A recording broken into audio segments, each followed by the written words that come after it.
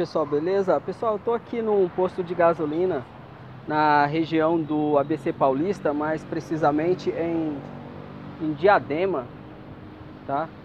E o que acontece? É, por, por exigência da AS Eletropaulo, que é a concessionária local, o, foi exigido que fosse implantado um novo padrão de entrada, ok? Como eu estava falando para vocês, isso aqui é um posto de gasolina e subitamente um fiscal da Eletropaulo veio aqui e condenou o padrão de entrada, que é esse daqui, ó. Tá? Isso daqui é um trifásico, categoria 6, aqui na região da Eletropaulo, com cabo 35. E segundo a concessionária, o, deu 30 dias para o posto estar tá implantando um novo padrão fora desse ambiente e dentro das normas, né? Você vê que isso aqui é... Agora tá limpinho, mas isso aqui no, no dia que eu vi aqui a primeira vez é tipo um inferninho do, do posto. Tinha tudo que não prestava aqui, estava intransitável. Então, aí a empresa de engenharia que faz manutenção na rede me contratou para estar tá projetando o novo padrão de entrada. Bom, pessoal, a primeira dica importante, ela é mais válida para o técnico projetista, tá? Que aqui é o seguinte, deixa eu mostrar aqui para vocês.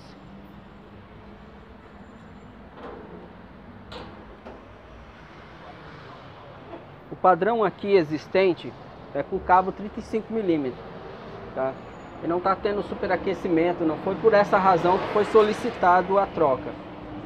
Tá certo? Embora aparentemente aqui tá uma gambiarra terrível, né? Que o pessoal vai fazendo gato, gato assim, entre aspas, que tá de, não tá antes do medidor, tá depois.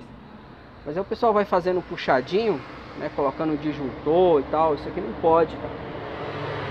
O quadro de, do medidor não pode servir de, de QGBT, de, de quadro de distribuição, tá? Enfim, aí o pessoal vai fazendo esses puxadinhos aí ao longo do tempo, depois vira esse maramanhado. Mas a questão aqui não foi superaquecimento, então até foi pedido para mim, para eu projetar, eu, fiz, eu que projetei o, o novo padrão, é, me pediram para eu projetar com uma capacidade maior para que possa alterar futuramente e instalar mais cargas, tá? E eu não fiz isso, recomendei que não fizesse, por quê? Vou mostrar para vocês por que razão eu não fiz. Esse padrão está sendo atendido por aqueles dois transformadorzinhos ali, que é um delta aberto. Esse transformador, ele é de 20, um é de 20 e outro é de 25 kVA.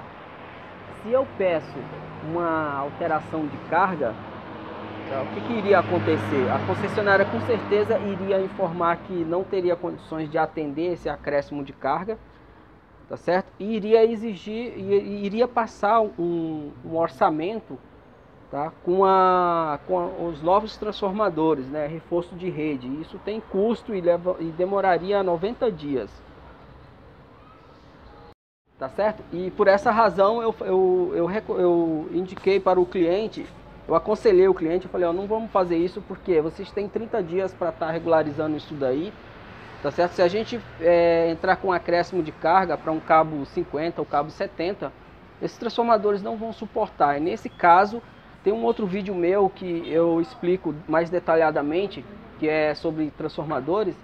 Quando isso acontece que não tem condições de ser atendido um pedido de entrada de energia, a concessionária ela manda informando uma carta-resposta com um orçamento que vai precisar fazer acréscimo, é, reforço na rede da rua. A concessionária manda um, é, uma carta-resposta com um orçamento é, especificando o valor para fazer reforço na rede da rua e 80% desse valor é repassado para o cliente. E depois que o cliente aceita a proposta que paga o boleto, ele, ele, a concessionária pede 90 dias para estar tá providenciando é, o serviço que precisa ser feito para que ele seja atendido. Então eu indiquei para o cliente aqui, para o meu cliente que não é o posto, é uma empresa de engenharia que presta serviço para o posto, falei para ele, não vamos fazer isso, vamos só é, copiar a carga que já tem, tá, para não ter maiores transtornos. Foi batata, com 20 dias já veio a, a carta de a carta resposta dizendo que foi aprovado Tá? E aí futuramente se quiserem entrar com acréscimo de carga, então com mais tranquilidade dá para fazer isso. Beleza? A outra dica que eu quero passar para vocês é sobre o poste. Esse poste é, ele é de aço, né, galvanizado, galvanizado. Ele tem a capacidade de, de 90 dan, 90 dan até para cabo 35. Tá? De cabo 50 a 70 tem que ser 200 dan. Tá? Qual é a diferença disso? A diferença está nisso daqui, ó. Na espessura da chapa, tá vendo? Porque se o poste da concessionária estiver no outro lado da rua, tá? O esforço mecânico para esticar o, o, cabo, o ramal de alimentação é bem maior do que nesse caso aqui que está do mesmo lado da rua. Então, quando eles esticarem, o poste, se ele for só de 90 dan, ele pode estar tá quebrando no meio. Portanto, até cabo 35 é poste 90 dan, cabo 50 e 70 é poste 200 dan. Tá? Passou de aí, cabo 95 em diante, aí já tem que ser de concreto armado, aí não tem jeito. Tá? Essa é uma dica super importante. A outra é a seguinte, independente do padrão ser trifásico, monofásico, residência, comércio, indústria, não importa, é, vocês é, não devem deixar aqui dentro da caixa ponta de conduíte, tem que ser eletroduto rígido, tá? E o aterramento também é fundamental. Aqui eles ainda nem concluíram, foi eu que montei esse padrão, tá? Foi os funcionários lá da, da engenharia.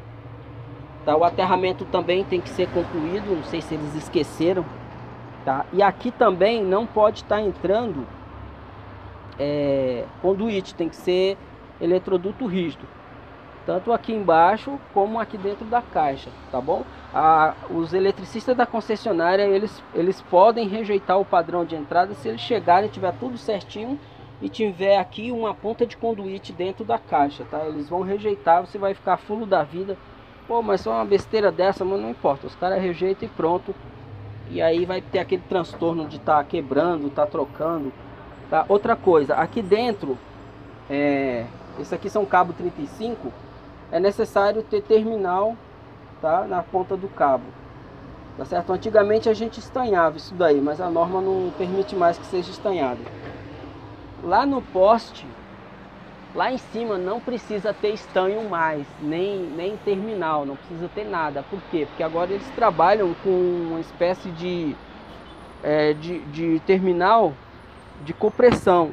Ele tem uns dentes, então ele morde o cabo apertado com um parafuso e uma porca. Quem souber o nome desse conector aí, quem trabalha em concessionária, dá um alô aí, porque agora eu não me lembro. Tá certo? Tá, e aqui ó, tem um disjuntor. Essa caixa aqui que eu projetei, ela é uma caixa T, tá? Da esquerda é uma T, na direita é um H. Tá certo? É, na verdade, aqui cabo 35 poderia ser até uma caixa E. Até caixa E cabe, pode ser o cabo 35 com disjuntor geral de 100 amperes.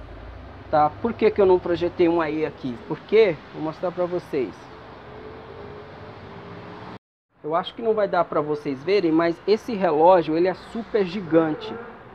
Eu acredito que ele é, deva ser o, o primeiro é, medidor digital. Então ele não caberia dentro de uma caixa E. Tá? Então essa caixa aqui ela é super antiga, eu acho que nem existe mais, acho que é uma caixa tipo K, essa daqui. Tá? Quem souber aí, puder corrigir, acho que é tipo K. Tá? Mas hoje uma carga dessa daqui pode muito bem ser instalada dentro de uma caixa tipo E. Tá? Quem estiver vendo esse vídeo só considera que eu estou falando de uma região aonde é atendida pela AES Eletropaulo. Cada região, cada concessionária tem as suas normas uma determinada carga pode ser instalado uma determinada carga pode ser instalada em caixas diferentes, tá? De modelos diferentes, tá? Que não, não tem nada a ver com isso daqui, tá bom?